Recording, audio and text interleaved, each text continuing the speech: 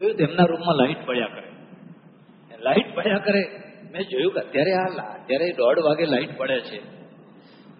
ચોપડો લઈને બેઠેલા.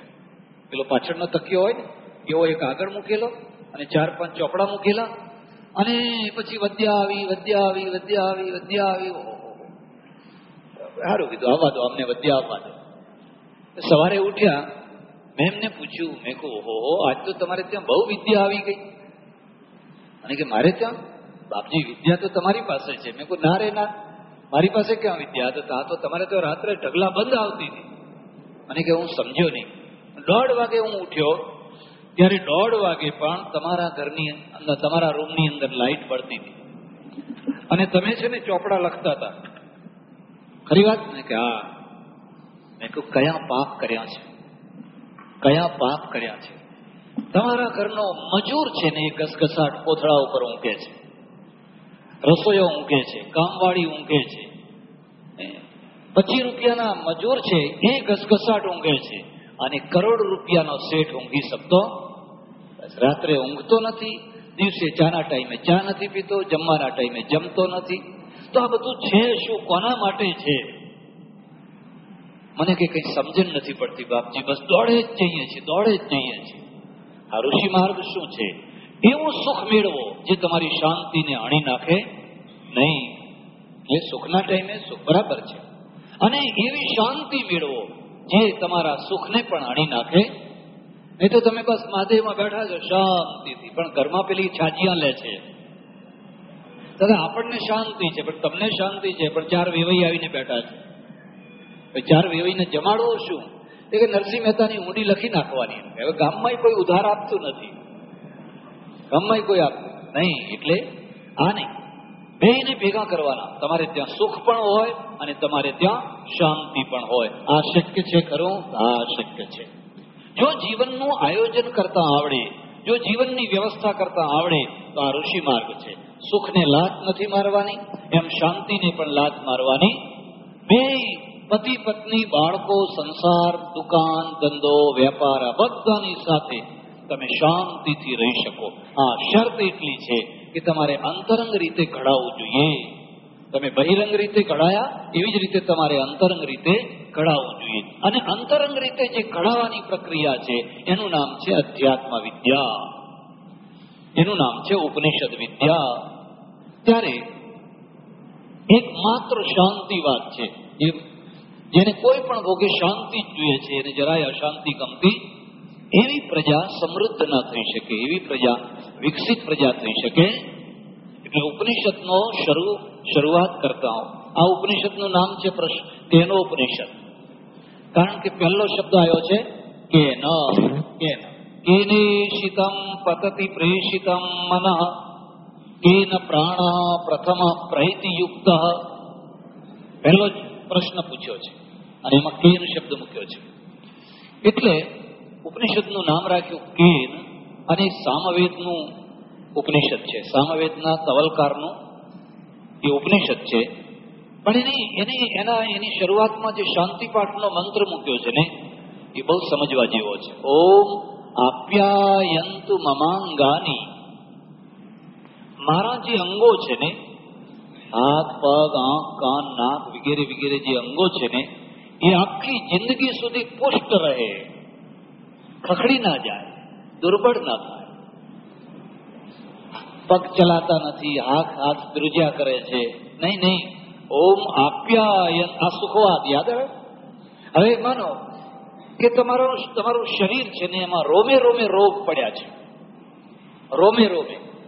તો શરીર છે, એમાં રોગ છે, તો હવે તમને શાંતિ રહેશે ખરી?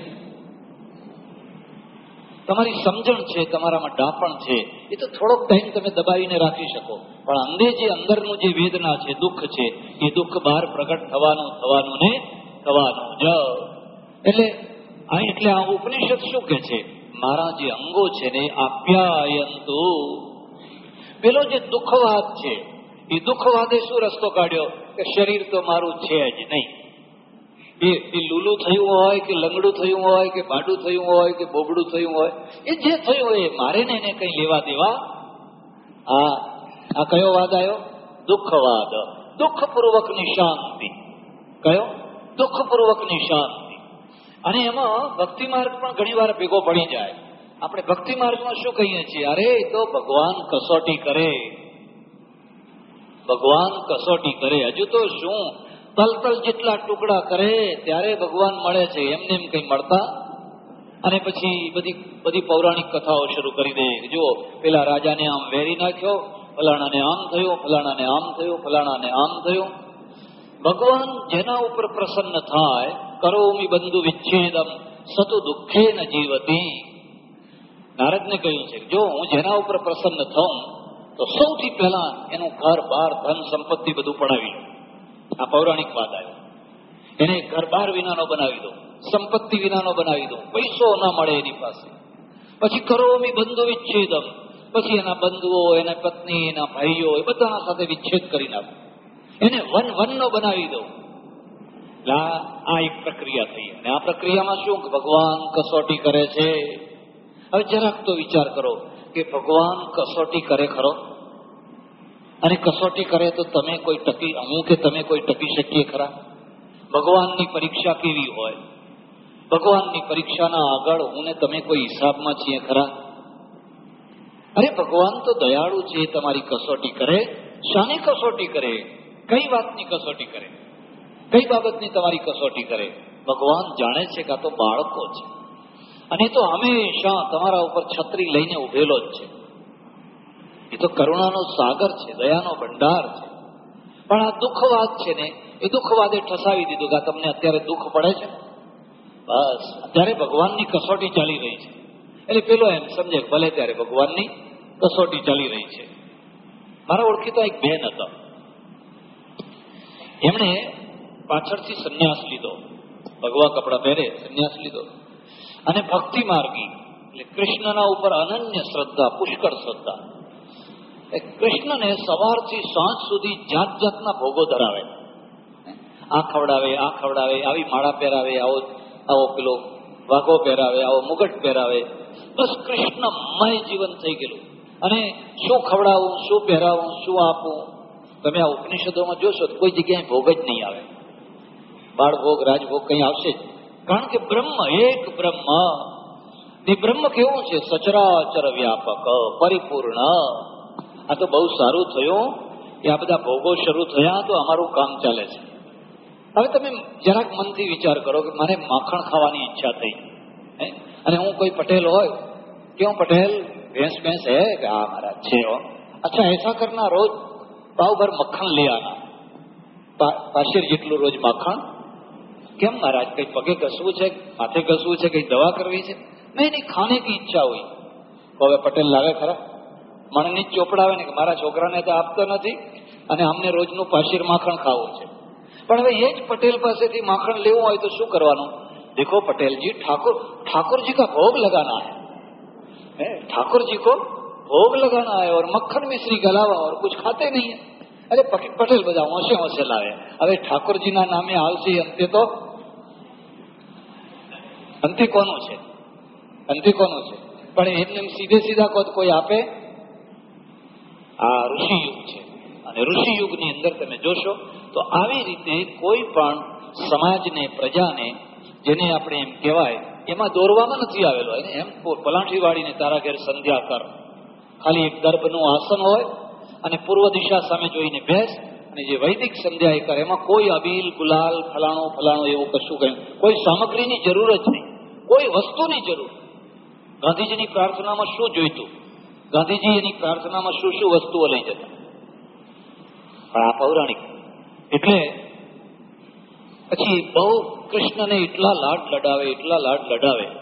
અને બન્યું એવું કે એમની વૃદ્ધાવસ્થામાં એમને લકવો લાગી ગયો. કોને પેલા બેનને? ખાલી લકવો જ નહીં, એક સાથે ચાર પાંચ રોગ થયા. ને રોગ એવા ભયંકર થયા કે મોઢામાં નીચે પાણી ના ઉતરે, ગળામાં પાણી ના ઉતરે.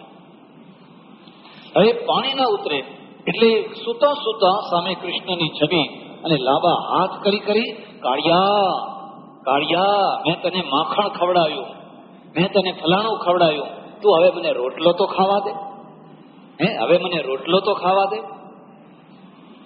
અત્યારે કેમ દુખી છે?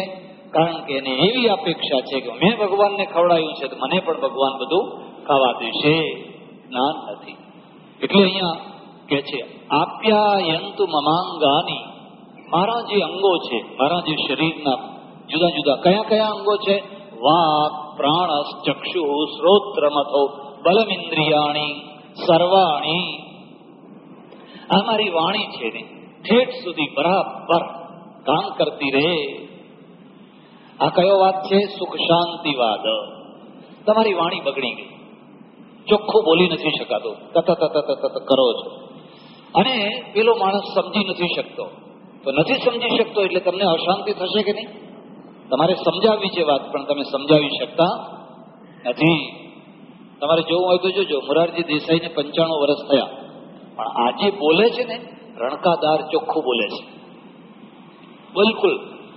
આમ આમ શું બોલે છે કેવું બોલે છે એવું નહીં. બિલકુલ ચોખ્ખું બોલે છે. કે? વાક પ્રાણસ ચક્ષુ શ્રોત્ર મથો બલમિન્દ્રિયાણી. મારી વાણી છે મારી વાક છે ઠેઠ સુધી શુદ્ધ ઉચ્ચારણ. ચોખ્ખું બોલતી રહે હે પ્રભુ એવી તમે કૃપા કરો. વાક પ્રાણ મારા જે પ્રાણ છે. પ્રાણ એટલે શું? આ શ્વાસો શ્વાસ લેવાની જે ક્રિયા છે એટલા માત્ર નહીં. પણ જેનો પ્રાણ બલવાનો હોય ને એની વાત બલવાન હોય. ક્યાંય બોલે તો વગર લાઉડ પણ સંભળાય. એટલો એનો અવાજ હોય. વૃદ્ધાવસ્થા હોય અને એને બોલવા, એને એને બોલવાની પદ્ધતિ એને અંદરથી એટલું જોરથી વાણી નીકળે. અને ઘણાને બોલવું હોય તો એ બોલી શકે, જેમ તેમ જેમ તેમ કરીને માળ બે શબ્દો નીકળે. નહીં નહીં નહીં. મારે એવું જીવન, એવું લાંબુ જીવન જોઈતું, વાક પ્રાણ ચક્ષુ મારી જે આંખો છે ને, એ આંખો પણ ઠેઠ સુધી બરાબર કામ કરતી રહે ચલો, સાઠ વર્ષે તમને મોતિયો આવ્યો, પાસઠ વર્ષે મોતિયો આવ્યો. કુદરતી પ્રક્રિયા છે, આ બીજી પ્રક્રિયા છે.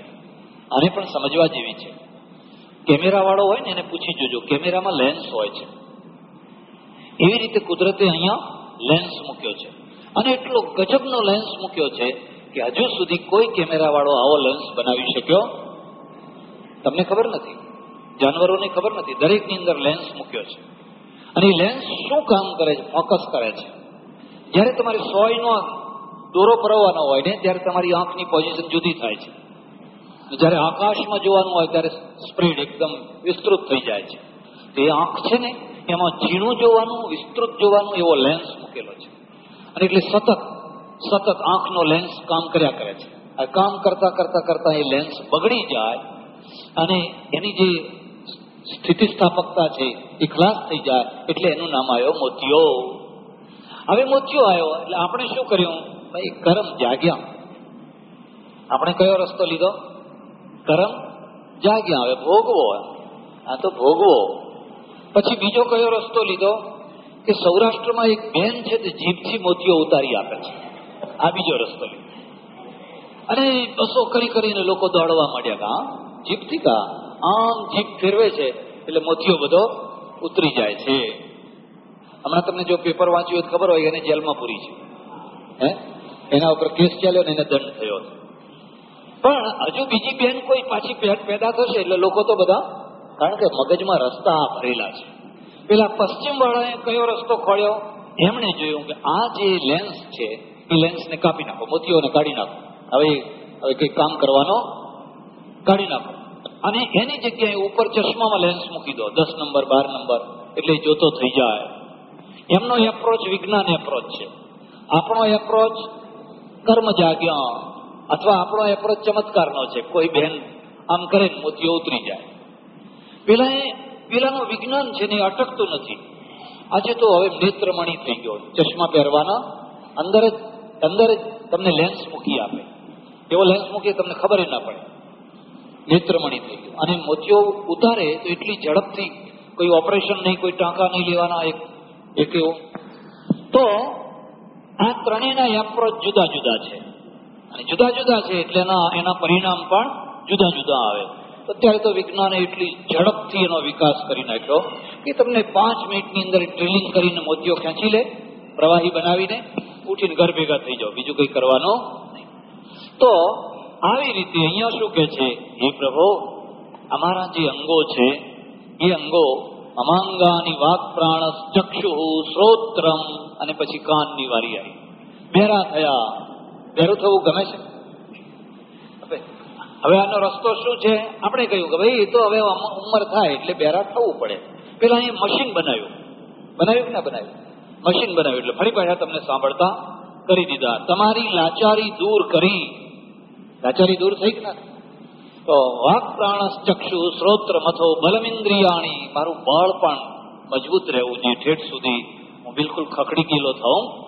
મારી બધી ઇન્દ્રિયો ઉપલક્ષણ છે, શરીરના બધા અંગો છે, એ બરાબર કામ કરતા રહે. બલમિન્દ્રિયાણી, સર્વાણી માહમ બ્રહ્મ નિરાકુર્યામ મુદ્દાની વાત આવી. અને પ્રભુ, જિંદગીમાં કદી પણ હું બ્રહ્મનો નિરાદર ન કરું. બ્રહ્મનો નિરાદર ના કરો. બ્રહ્મનો નિરાદર એટલે શું? સ્વામિનારાયણ સંપ્રદાયમાં એના માટે શબ્દ છે વિમુખ. બ્રહ્મથી વિમુખ થવું હરિગુરુ સંત.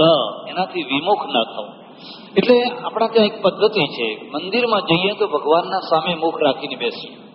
કથામાં જઈએ તો પણ વ્યાસપીઠના સામે રાખીને મુખ રાખીને બેસીએ.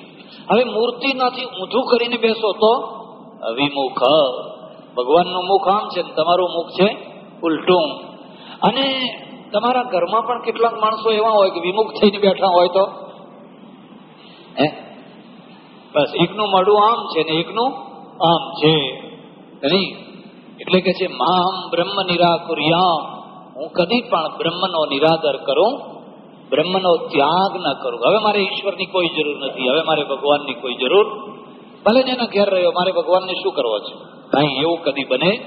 ઘણી વાર આવું બનતું હોય છે કે માણસને દુઃખ ના આવે, વ્યાધિ ના આવે, ઉપાધિ ના આવે અને જીવનની જરૂરિયાતો બધી મળ્યા કરતી હોય એટલે એને બ્રહ્મની, પરમેશ્વરની કઈ જરૂર દેખાય? જરૂર ના દેખાય. તો હું એવો ના બને. એક વાત બીજી યાદ રાખજો. ઓછકલાઈથી આવનારી જે નાસ્તિકતા છે ને, એ બહુ દુઃખદાયી છે. સમજણપૂર્વકની નાસ્તિકતા હોય તો બરાબર છે. પણ ઓછકલાઈથી કશું નતું અને ભાઈની પાસે પૈસો આવી ગયો. બસ, હવે આપણે કોઈને માનવા? તમે હતા એ જ બરાબર હતા ને? કશું નતું અને એની પાસે કોઈ સત્તા આવી ગઈ. હવે મારે કોઈની જરૂર નથી. અરે, તને ખબર નથી આ બધું કાલ જતું રહેવાનું છે. એટલે કે છે, માહમ બ્રહ્મ નિરાકુર્યામ. બીજી વાત આવી, મામા બ્રહ્મ નિરાકરો અને બ્રહ્મ પણ કદી મારો નિરાદર કરે ભલે દુનિયા ભલે બને દુશ્મન, તમે ના કોપશો બાપુ, અમીમય આંખ ક્યારીમાં અફીણના રોપશો બાપુ. સાંભળી છે કવિતા? ભલે દુનિયા બને દુશ્મન, તમે ના કોપશો બાપુ. હે પ્રભુ, આખી દુનિયા કદાચ દુશ્મન થઈ જાય તો થઈ જાય. પણ તમે કદી મારા ઉપર કોપ કરશો? અમીમય આંખ ક્યારીમાં અફીણના રોપશો બાપુ. એટલે કે છે, એ બ્રહ્મ છે, પરમાત્મા છે પરમાત્મા પણ કદી મારો મારો નિરાદર કરે. પરમાત્મા પિતા છે, પરમાત્મા માતા છે. અને માતા અને પિતા છે, એ તો ઉદાર હોય. અમારી કંઈક ભૂલ થાય, અમારા કંઈક દોષો હોય, તો એ દોષોના કારણે તમે અમારો નિરાદર કરશો ને પરમેશ્વર નિરાદર ના કરે. પરમેશ્વર તિરસ્કાર કરે. કારણ જાણે છે કે આ તો આ તો મનુષ્ય છે. અને મનુષ્યનો અર્થ જ થાય થાય છે. જે પળ પળમાં પડે એનું નામ છે મનુષ્ય. એટલે માહમ બ્રહ્મ નિરાકુર્યામ. મામા બ્રહ્મ નિરાકરોદ. અનિરાકરણમ અસ્તુ બે વાર. અમારું પરસ્પરમાં નિરાકરણ બને. અમે એકબીજાનો અનાદર કરીએ. આ બીજી વાતને યાદ રાખજો. જીવન છે ને, એમાં સૌથી મોટામાં મોટી હૂંફ હોય, મોટામાં મોટું બળ હોય, મોટામાં મોટો સાથ હોય તો એ સાથનું નામ છે ભગવાન. માણસોનો સાથ પણ ખરો. માણસોનો પણ ખરો. પણ માણસોનો સાથ છે ને, બહુ વિશ્વાસપાત્ર. તમારી વિપત્તિમાં તમને ખબર પડે, જ્યારે તમને દુઃખ આવ્યું હોય ત્યારે તમને ખબર પડે. જે માણસોને પોતાના ધાર્યા હોય, એ બિલકુલ સાથ જ ના રહે. અને જેને ના ધાર્યા હોય એ આવીને ઊભા રહે. વિપત્તિ વિના ખબર કેવી રીતે પડે? માત્ર સંપત્તિમાં ખબર પડે. વિપત્તિમાં ઊભા જ ના રહે. એટલે એક માણસ એવો છે કે જે કદી ખસતો, જે કદી ખસતો નથી. એટલે કે છે, તમે અમારું નિરાકરણ કરશો? આમાં બ્રહ્મ નિરાકરો ઉપનિષદ ધર્મ તેમયી સંતુ તેમયી સંતુ. હવે આ ઉપનિષદની અંદર જે તમે ધર્મો કહેવાના છો, એ બધા ધર્મો મારામાં આવે. કયા ધર્મો મારામાં આવે? અધ્યાત્મ વિદ્યા એ અધ્યાત્મ વિદ્યા બધી મારામાં આવે. અને મારામાં આવે તો શું થશે? સુખ અને શાંતિનો સુમેળ. અશાંતિ ક્યાંથી થાય છે? સુખ ક્યાંથી આવે છે? આ બે વાતને સમજો સુખ પુરુષાર્થથી આવે છે. ક્યાંથી આવે છે? પુરુષાર્થથી. અકસ્માત અચિંતાનો તમને રસ્તામાંથી એક કોઈ વસ્તુ મળી ગઈ. એના આધારે કઈ જીવન જીવાય તમને એક પોકેટ મળી ગયું, તમારી લોટરી લાગી ગઈ, એટલે હવે આખી દુનિયાની લોટરી લાગે, એ રીતે રસ્તે વાળી શકાય? આખી દુનિયાની રસ્તે વાળી શકાય? તો સુખ ક્યાંથી આવતું હોય છે? પુરુષાર્થથી એ પુરુષાર્થ તરફ વાળવાનું. અને શાંતિ ક્યાંથી આવતી હોય છે? સમજણથી. પુરુષાર્થ હોય, પણ સમજણ હોય, તો શાંતિ ક્યાંથી આવતી હોય છે? સમજણથી. ઘરમાં બધા માણસો છે, પણ સમજો માણસો. એટલે કોઈ વાર નાની મોટી ઝઘડો વગેરે થાય તો પણ અશાંતિ થતી અને થાય તો એ જલ્દી ઓલઈ જાય છે. એ જલ્દી ઓલી જાય છે. એના ભડકા બહુ લાંબા ચાલતા પણ ઘરમાં બધા અનાડી માણસો ભેગા થયા છે. અરે એક જ અનાડી છે. બધાની વાત જવા દો. એક જ અનાડી છે. અને એવું ચક્કી છે, એવું હઠીલું છે, એવું પૂર્વગ્રહી છે, એવું દુરાગ્રહી છે. મકોડાની માફક જે વાત પકડે એને છોડતું. હવે ઘરમાં શાંતિ રહે ખરી? એ ઘરમાં કદી શાંતિ રહે શાંતિ તો ક્યારે આવે? ક્ષમાથી આવે, ઉદારતાથી આવે? મોટેથી આવે, કશે? એને ભૂલ કરી ઢળી ગયું, દૂધ ઢળી ગયું, તો ઢળી ગયું. ફલાણું થયું, તો થઈ ગયું. ઉદારતાથી આવે. એટલે કે છે ઉપનિષદ સુધર્મા તે મહી સંતુ, તે મહી સંતુ. ઉપનિષદની અંદર જે ધર્મો તમે અધ્યાત્મ વિદ્યાના કહેલા છે, એ બધા ધર્મો મારામાં આવે. આટલું કહ્યા પછી ત્રણ વાર શાંતિ કહી, ઓમ શાંતિ શાંતિ શાંતિ. આદિ ભૌતિક આદિ દૈવિક અને આધ્યાત્મિક. અમારા ત્યાં ત્રણેય પ્રકારની શાંતિ રહે આદિ ભૌતિક. આ લાઈટ જાય એટલે આપણને શાંતિ થાય છે કે અશાંતિ થાય છે? અને આ પંખા બંધ થાય તો? અશાંતિ થાય છે. પાણી ના મળે તો? જમવાનું ના મળે તો? છે ને? સારું મકાન ના મળે તો, નોકરી ના મળે તો. તો તમે ગમે એટલી આત્માની વાતો કરો, પણ આ બધી પાયાના પ્રશ્નો છે કે નહીં? તમે ગમે એમ આત્મા આત્મા આત્મા કરો, પણ તમારા રૂમમાં પંખો બંધ થઈ ગયો, આજે જમવાનું નથી મળતું. અશાંતિ થશે ને? એટલે કે છે, ઓમ શાંતિ. અમારા ઘરમાં અમારી ચારે તરફ ભૌતિક શાંતિ રહે. બીજી શાંતિ. અને બીજી શાંતિ કઈ છે? આધિદૈવિક હવે માનો કે તમારા ઘરમાં ફ્રીજ છે, પંખો છે, બધું છે, પણ મન સ્થિર નથી. મન ચંચળ છે. મન સ્થિર નથી. શંકામાં, વહેમમાં ઈર્ષામાં દ્વેષમાં, વૈર, વૈરની અગ્નિમાં બળ બળ બળ બળ થયા કરે છે. આ કયા, કઈ અશાંતિ છે? આધિદૈવિક. આધિદૈવિક. તો નહીં, હે પ્રભુ મારા મન એટલા વિશાળ બને, એટલા ઉદાર બને, એટલા ક્ષમાવાળા બને, એટલા દયાવાળા બને. મોટા ભાગે તમારે જોવું હોય તો જોજો, લોકો બહારથી કોઈ આવ્યું હોય ને એને દાન આપે, સાડીઓ આપે, કથા કરે ને, એટલે સીતાજીનો સ્વયંવર થાય, એટલે બહેનોને કે કાલ સીતાજીનો સ્વયંવર સાડીઓ આપે. પણ પડોશમાં પોતાની સગી, વિધવા ભાભી હોય અને એને ચીંથરે હાલ હોય તો એને સાડી આપે કેમ એને નથી આપતા? કારણ કે એના પ્રત્યે મન ખાટું થયેલું છે. કેમ ખાટું થયેલું છે? એ એ તો અમારા કોઈ દિવસ કઈ કશા કામમાં જ નથી આવતું એટલે એના પ્રત્યે મન ખાટું થયેલું છે. હવે આ બહારનો માણસ છે, એ સાડીઓના ઢગલા લઈ જશે. લઈ કે છે અમારા ઉપનિષદની આદિદૈવિક નજીકના માણસો છે, એમના પ્રત્યે જો દોષ દ્રષ્ટિ રાખો, તો કોઈ માણસ તમને સારું મળે. બધા દોષ વાળા છે. બધા દોષવાળા છે. કચ્છમાં એક આશ્રમમાં હું રહું. કચ્છમાં એક આશ્રમમાં રહું. પછી બધા સાંજે જમી રહે, એક બેન રસોઈ કરે. બ્રાહ્મણભાઈ, વિધવા રસોઈ કરે. આટલી રોટલીઓ વધે, આટલો થોકડો વધે. ગાયોને બોલાવીને ખવડાવી દે. એક બીજી બ્રાહ્મણનું એક કુટુંબ, એ બધા વાસણ કસે બ્રાહ્મણ પણ બિચારી ગરીબ સ્થિતિ, એટલે વાસણ કસે એમના ત્યાં જ વાસણ કસે પાછા એમના આશ્રમમાં જ વાસણ તો મેં કહ્યું ભાઈ, તમે આ રોટલીઓ ગાયોને ખવડાવી દો છો, ગાય તો ઘાસે ખાય. પેલા ચાર છોકરા છે, એની વહુ છે, એના પુરુષ છે, તમારા ત્યાં કામ કરે છે, એને આ રોટલીઓ આપતા હોય તો? મને કે, ના, મારી ગંગાને ખવડાવું, મારી જમનાને ખવડાવું, પણ એને તો હું ના જ આપું. હવે આશ્રમમાં રહે છે. રોજ કથા સાંભળે છે.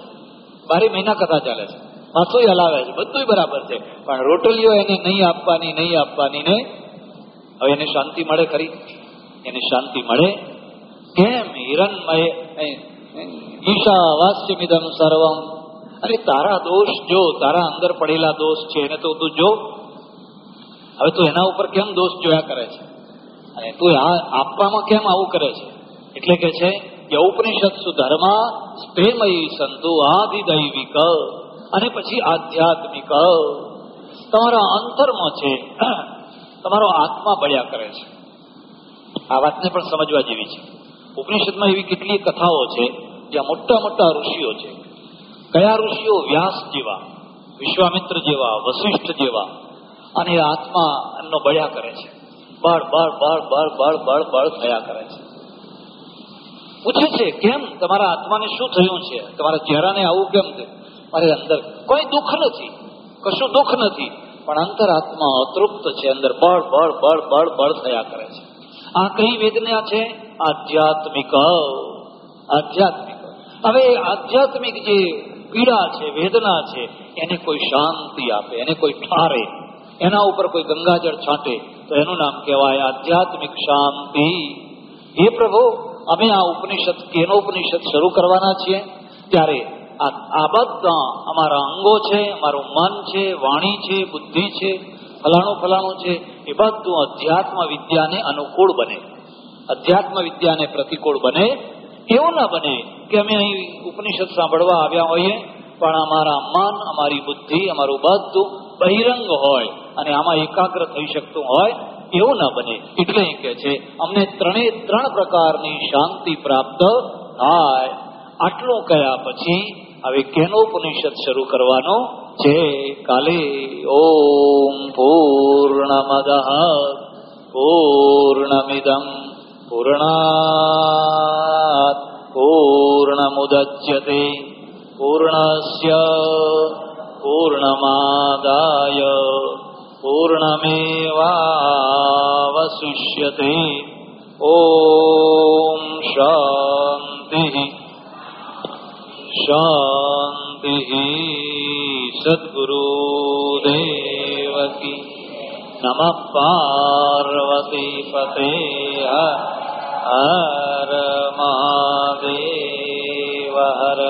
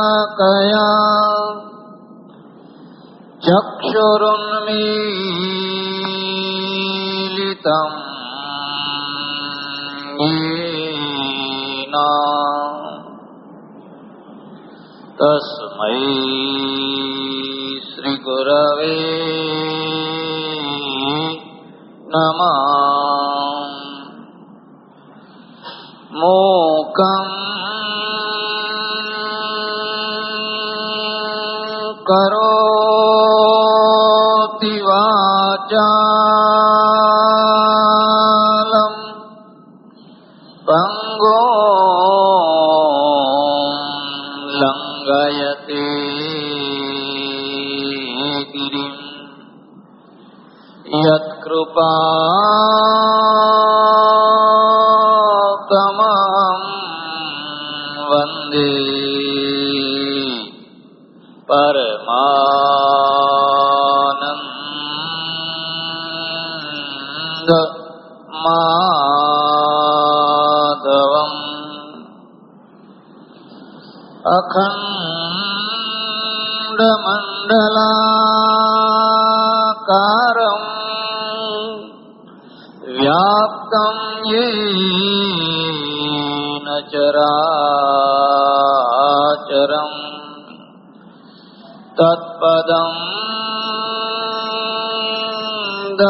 દર્શિતમ येन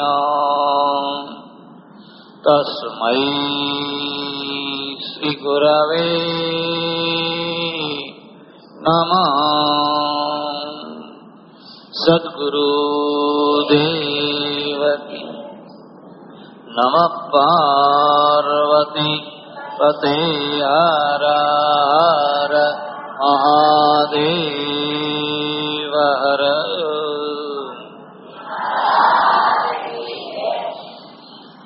ઉપનિષદોની કથાનો પ્રસંગ છે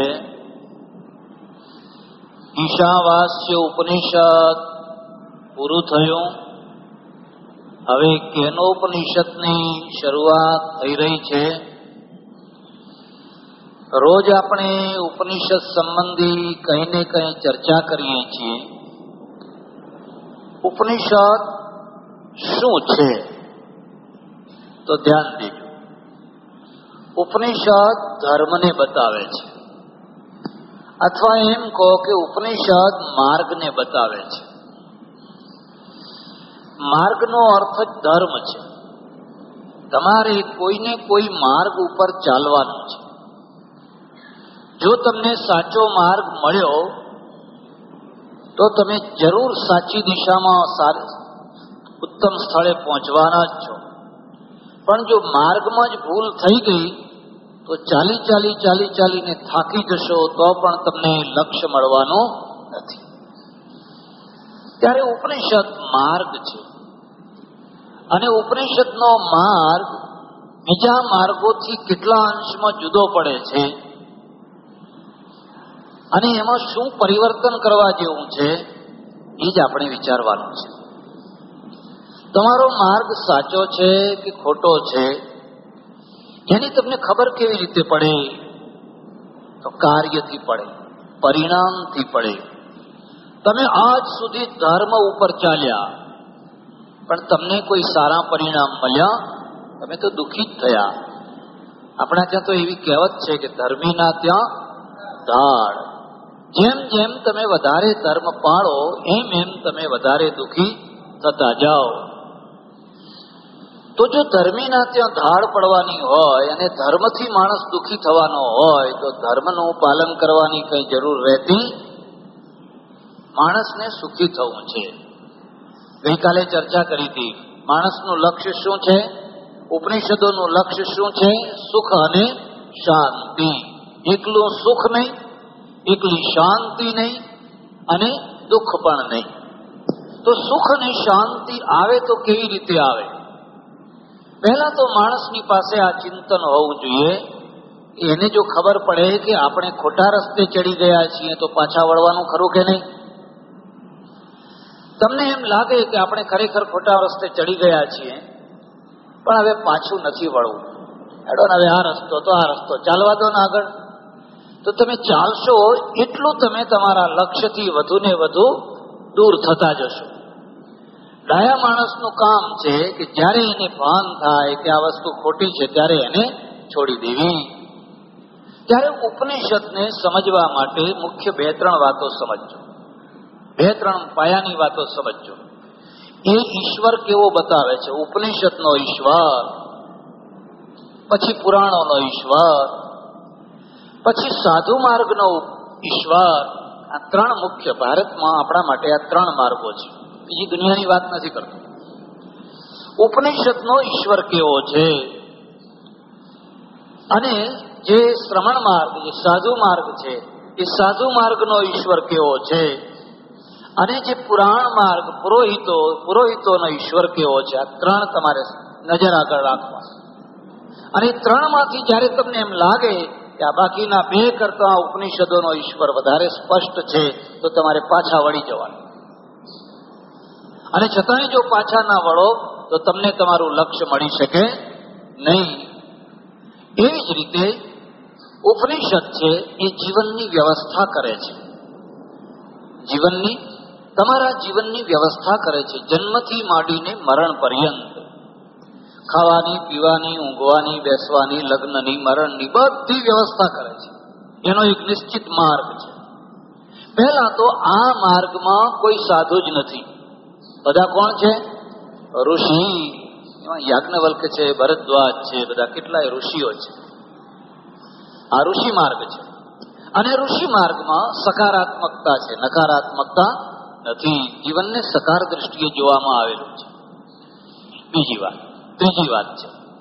આ ઉપનિષદોની અંદર જે ઉપાસના પદ્ધતિ છે પરમેશ્વરને પ્રાપ્ત કરવાની જે ઉપાસના ધાર્મિક વિધિઓ છે, અત્યંત સરળ છે. અત્યંત સરળ છે. સરળ છે એટલે માત્ર તમે સમજણથી એને પ્રાપ્ત કરો. એમાં આટલી બધી સામગ્રી લાવો, આટલી બધી વસ્તુઓ લાવો, આટલી બધી ચીજો લાવો, એવો કોઈ આગ્રહ રખાયો? આ ત્રણ વસ્તુઓ છે. તમારે આ માર્ગ એટલે જીવનની જે વ્યવસ્થા છે, એ જીવનની વ્યવસ્થાને સમજવાનું છે. ઉપનિષદો તમને કેવી જીવન વ્યવસ્થા આપે છે? બહુ સરળ ધર્મ. સૌને સરખા અધિકાર વાળો ધર્મ. અહીંયા ગાર્ગી સ્ત્રી છે. સભા વચ્ચે પ્રશ્નો પૂછી શકે છે. એટલે સ્ત્રીને પણ સરખો અધિકાર છે. કોઈ આમાં શુદ્ર નથી, કોઈ ત્યાજ્ય નથી. આગળ એક કથા આવે છે. એક બહુ મોટો ચક્રવર્તી રાજા છે. અને એને બ્રહ્મ વિદ્યા જાણવાની ઈચ્છા થઈ. એક બહુ મોટા ઋષિ જે જમાનાના હતા, એમની પાસે ગયો. ઋષિએ કહ્યું, હું બીજી બધી વિદ્યા જાણું છું, પણ હું બ્રહ્મ વિદ્યા જાણતો નથી.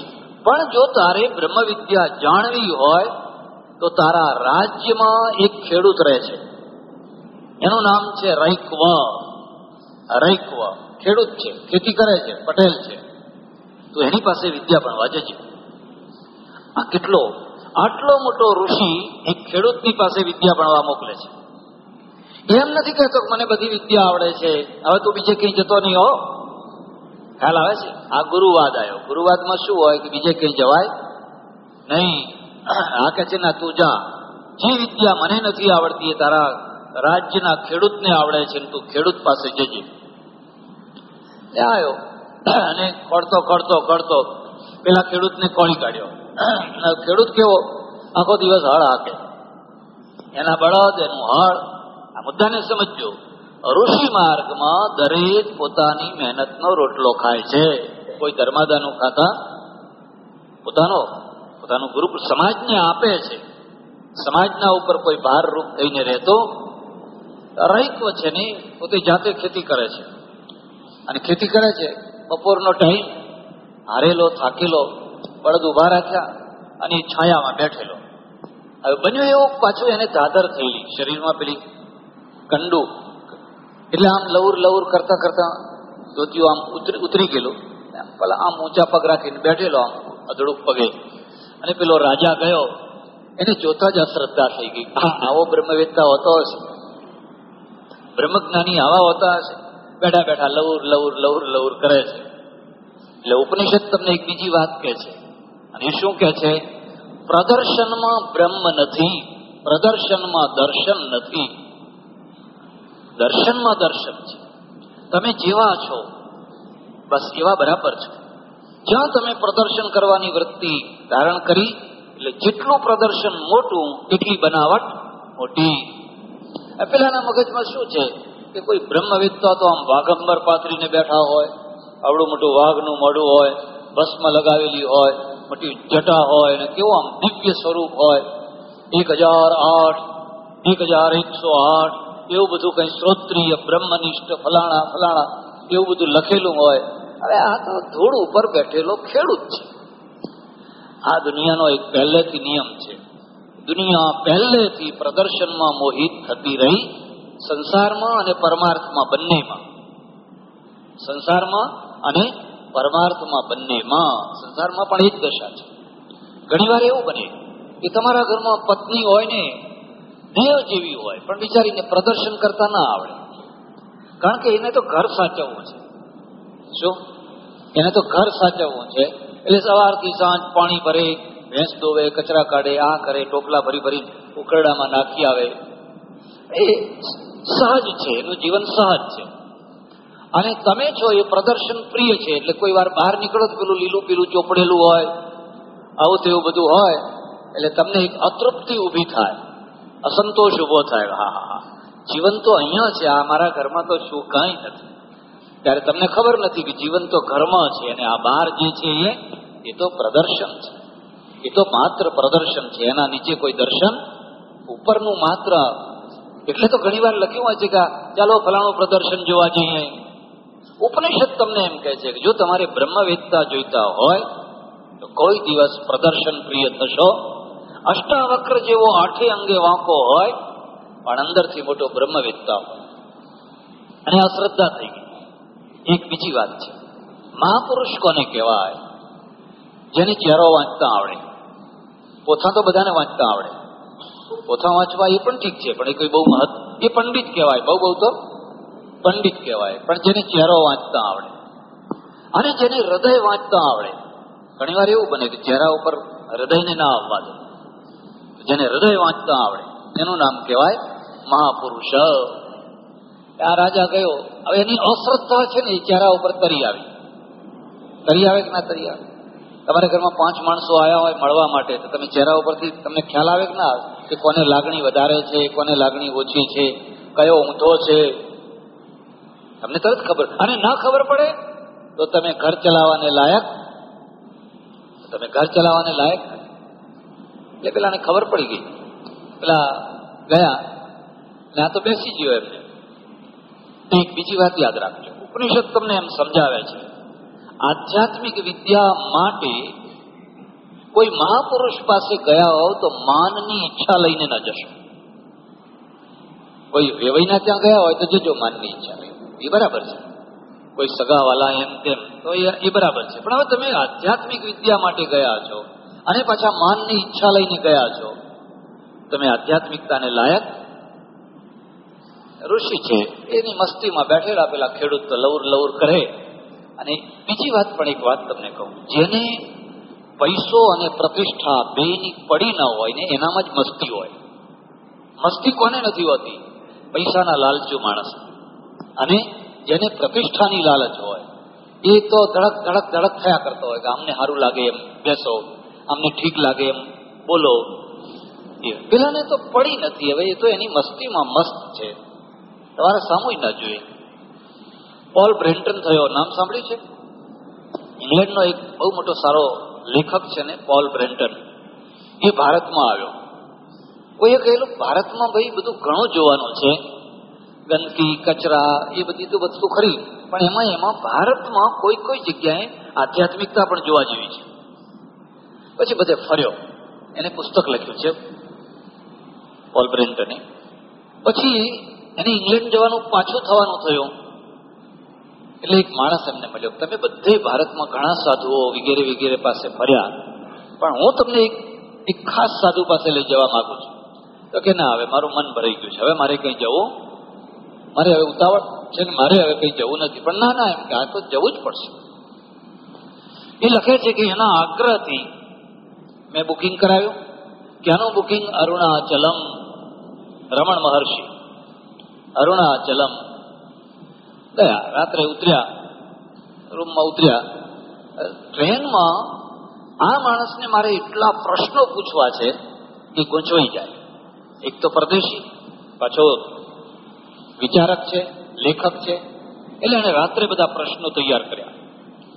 સવારે જ્યારે મળવા જઉં, ત્યારે મારે આ બધા પ્રશ્નો બધાના વચ્ચે પૂછવા છે જેથી એ જવાબમાં ફેફે ફેફે થઈ જાય. લોકોને ખબર પડી જાય કે આ કશું નથી આમ. એ લખે છે સવાર થઈ, અમે જ્યારે એમને મળવા ગયા, ત્યારે એક આવી પાટ ઉપર બેઠેલા ને બારીમાંથી આમ બહાર જોયા કરે. કોઈ આવે એના સામે જોવે નહીં. જે આવે એમને ચૂપચાપ બેસતા જાય. અમે ગયા તો અમારા સમય ના જોયું. મને દુઃખ થયું કે આ બધા તો દેશી માણસો છે. હું ગોરી ચામડી વાળો પરદેશથી ઠીઠ મળવા આવ્યો અને મારા સમય નજર ઉપાડીને આ માણસ જોતો નથી. મને જરા અપમાન જેવું લાગ્યું, થોડું દુઃખ થયું કે આ ગાડો ક્યાંથી મળ્યો મને અહીં ખેંચી લાવ્યો એટલે પછી મન બગાડીને બેઠો. મન બગાડીને બેઠો. પણ બેઠા પછી થોડીક વાર થઈ અને જાણે કે ધીરે ધીરે ધીરે ધીરે મારા ઉપર એક શાંતિના મોજા ફરતા હોય અને મને શાંતિની લહેરોમાં નવડાવતા હોય એવો અનુભવ થવા લાગ્યો. ઓહો આવી શાંતિ તો કદી મળી જ નથી. આ શું થઈ રહ્યું છે? કોઈ કશું બોલતો નથી, કોઈ કશું ચાલતો નથી. બસ એને જાણે શાંતિ, ગુરુસ્તુ, મૌનમ, વ્યાખ્યાનમ, શિષ્યાસ્તુ, છિન્ન સંશયા. ગુરુસ્તુ, મૌનમ વ્યાખ્યાન દક્ષિણામૂર્તિ બેઠા છે. એક અક્ષરે બોલતા નથી. અને શિષ્ય હતા એ છિન્ન બધા સંશયો મટી ગયા. અમે બેઠા બેઠા બેઠા બે કલાક સુધી બેઠા. અને મને ઉઠવાનું મન ના થાય. બોર થઈ જાવ ના થઈ જાવ? ઉઠવાનું મન ના થાય. એમ થયા કરે કે હા. આ જિંદગીમાં જે લહેરો આવી રહી છે ને આવી લહેરો બીજી કોઈ જગ્યાએ જોઈ? આનું નામ આધ્યાત્મિક પ્રભાવ કહેવાય. જેના સમીપમાં જવાથી, જેની પાસે બેસવાથી જેનો સંગ કરવાથી તમારા ઉપર એક સાત્વિકતાની અસર થયા કરે. તમારા અંદરના કષાયો તમારા અંદરના ક્લેશો, તમારા અંદરના દોષો જાણે વિલીન થવા લાગે. એમ સમજવાનું કે એનો આધ્યાત્મિક પ્રભાવ તમારા ઉપર અસર કરી રહ્યો છે. પછી પેલો જે માણસ મને લાવેલો, એને મને આમ ઠૂંસો માર્યો. અને કે, હવે જો એ આપણા સામુ જોઈએ એટલે તમારે જે પ્રશ્નો તૈયાર કરીને લાવ્યા છો એ બધા પ્રશ્નો હવે તમે રાખી શકશો. અને પેલો લખે છે, મારે એક પણ પ્રશ્ન પૂછવાનો રહ્યો. બધા કાગળિયા પેલો મને બે ત્રણ વાર ઠૂંસા પૂછને પૂછને. મેં કહ્યું, ચૂપ રહે. હવે કઈ પૂછવાનું બાકી રહેતું આનું નામ શું છે? દર્શન. એટલે આપણે નથી કહેતા, દર્શન કરવા ગયા હતા. આનું નામ દર્શન છે. પણ દર્શનમાં જો પ્રદર્શન બેસી ગયું હોય તો તો પછી એમ જ થાય કે પ્રસાદ ક્યારે આપશે? કયો પ્રસાદ આપશે? જાત જાતના પ્રસાદ પડ્યા હોય ને, એટલે મને આમાંથી કયો આપશે? આ આખી વૃત્તિઓ થાય. મોટા ભાગે આવું થતું હોય છે. મોટા ભાગે આવું થતું હોય છે. જેવો માણસ એવો પ્રસાદ. જેવો માણસ એટલી માત્રા કોઈને ના